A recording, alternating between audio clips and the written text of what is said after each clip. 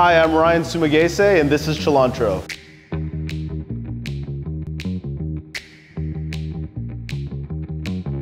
We serve Korean-inspired cuisine, and our most popular dish is the kimchi fry. So the way we make our kimchi, we use daikon radish, onions, garlic, and especially napa cabbage.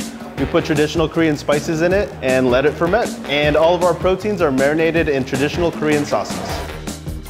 So kimchi fries is probably our number one seller when it comes to online delivery. Perfect item to enjoy the game at home or just a late night in.